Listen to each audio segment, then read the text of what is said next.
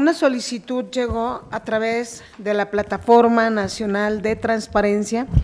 donde un ciudadano solicitó a la Secretaría de Gobernación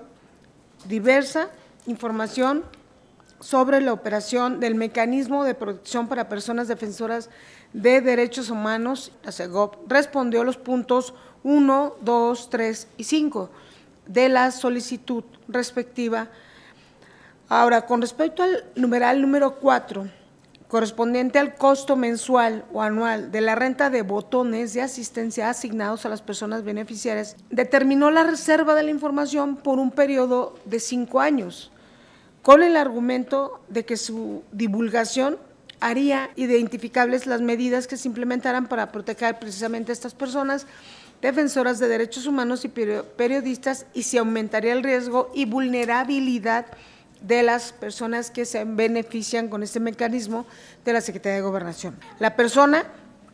se agravió, se vuelve recurrente, impugnó la clasificación de la información.